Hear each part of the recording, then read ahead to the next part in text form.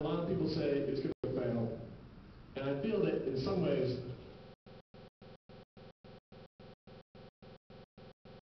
when you start something, start something. And I think one of the big things I learned doing Big Kitty is not, don't be afraid to paint in color. And what this idea is about is just take any idea you got and get started. One of the other big ideas I had at Big Kitty Labs is to run the whole thing like a record label. What I like about record labels artists, you're always remixing, colorful characters, anything goes, it's fun. It's stay fun. Uh, Doodle often is another big one I came up with. I'm always drawing, but I feel like it's a really good creative release to keep drawing, keep iterating with ideas. So anytime you're making any kind of web application or anything, just keep drawing, keep doodling. This one's a big one for me, because I'm kind of data head. Measure everything.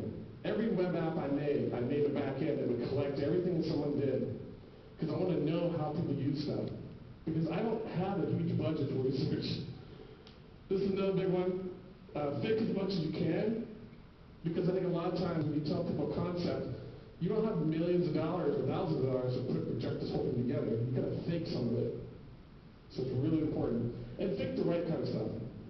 Look to the man for immediate wins. this is all about currently, if you're creating something, a small business, whatever, look to your current employer as a way to, you know, maybe help them out on the side. Especially if it's not your core competency or, something key for them, is to kind of see problems and help them. And I think you should be an asset factory. This is the kind of big idea I had where I wanted to collect all the cool things I did and reuse them. If I made a Firefox extension, I'd reuse it. If I made how an Android app, I'd reuse that. I keep on learning. Leverage everything. Everything's free. Google has a ton of free stuff out there. Uh, everybody who's got something for you to use, take it. Open MIT University, OpenCourseware, take all of that. And bullshit better than anybody. This kind of gives with the idea that, you know, don't rip people off. You're in a bootstrap phase in your business. So be true, because other people can kind of smell the BS. And for me, I like to run multiple projects in parallel. It's kind of crazy, but it makes it fun. It's like a roller coaster. And I'm constantly addicted to the newness of whatever I discover. Uh, it can run me ragged, but I think it's really rewarding. Family is your first customer. My wife, my friends, my uh, family, they were the first people I had to sort of convince that I wasn't crazy. And if they could see it, it could help give me the motivation to keep going. So it was really key. I, I think ultimately you're a bag of chemicals. Your emotions are going by.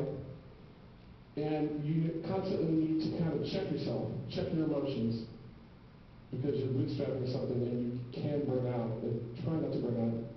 Expect nothing. This is one of the big ideas uh, that kind of came out from outsourcing for the first time. I just wanted to see if I could actually get something made by the Russians. I didn't know what they were going to make. Let's just see if they can actually do something. You know, keep your expectations low. Every dollar you spend is one less dollar you're going to save for retirement. Okay? So it's kind of critical. If you do this on your own, try not to burn so much money. I always cap everything. I never spend more than like, you know, 1500 two grand an idea. I don't care. I'm not going to spend more than that. When you do decide to go pro, in the last six months I've been trying to go pro, I had to get into the deals of legal, had to write things up, and then I had to get back to work, go back to doodling, go back to trying your ideas. But you do have to find someone who really knows legal business. It only dies when you stop making decisions. That's one of the key points. Your startup, your concept, your project only dies when you decide not to care. And it ends. So keep making decisions. Just believe. That's the big line. Is just believe in yourself and your capabilities and ignore everybody else. And just do what you want to do. And that's it.